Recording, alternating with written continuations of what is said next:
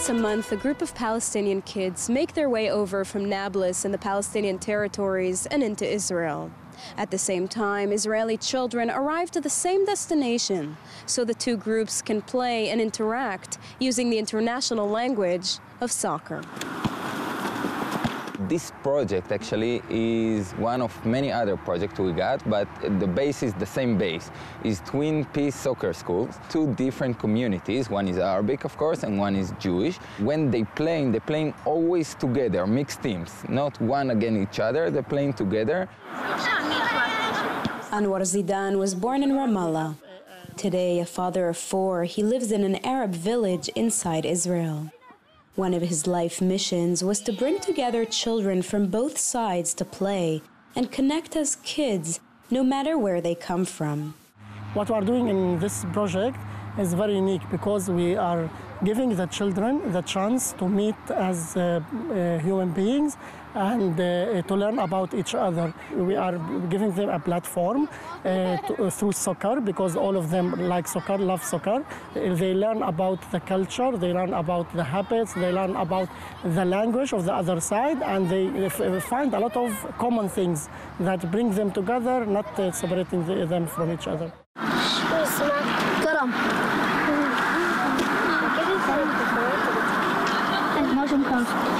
Often the coaches allow the kids to play what is referred to as fair play, a game in which the kids make up their own rules, hence pushing them to communicate and find common ground. During the training, they're actually learning the other language, they're uh, learning the other uh, cultural thing.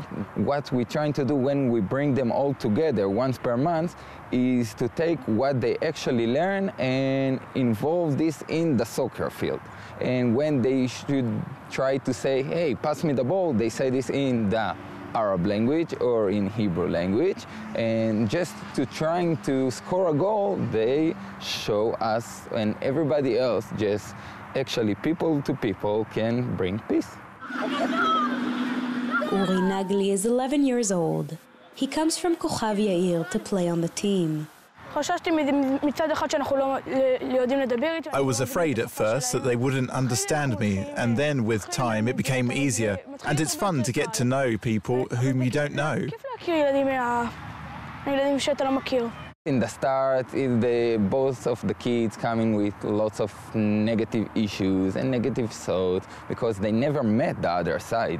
But when they actually meet each other and they need to pass the ball to score a goal or to defend on their goalie, they found themselves really similar. And when we add to these cultural activities, and they found both of them like to uh, play in PlayStation, and they like pizza, and both of them like to help their mother in the kitchen, they found themselves really similar. Mohammed Nasser is a defender on the team. It takes him and his friends three hours to arrive from his Palestinian village through the crossing and over to the field here in Israel. But he says he loves every bit of it. It takes time to arrive here and it's difficult, but once we begin playing, we forget about everything else. Soccer is the language of the people, and when we are on the court, we get along. The kids are really nice. When we play together and when we are on one team, we all play for the same goal.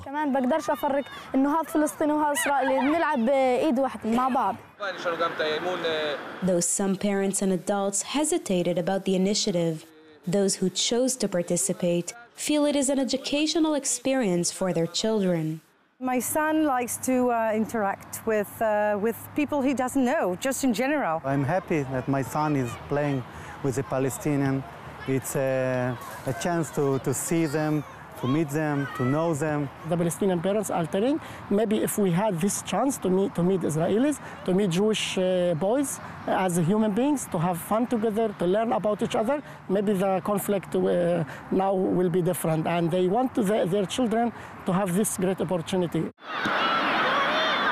At the end of the three hour practice, the Palestinian kids return to Nablus and its surrounding villages.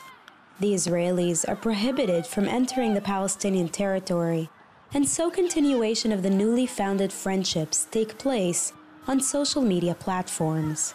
Facebook for them is a great opportunity, and there they chatting and really everything. You just need to follow this and do likes for everything because it's really other lives there. But here, the idea is actually to open the eyes of the kids and show them not to afraid from the other side.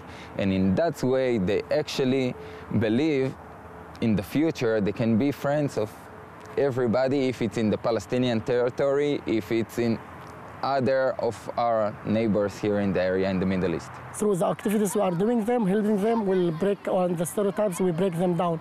For sure, it will uh, make a change in him, in, in the boy uh, himself, and also in his family and in the bigger uh, circle in the society. It's the only hope for them. For JN1, I'm Sivan Raviv, Israel.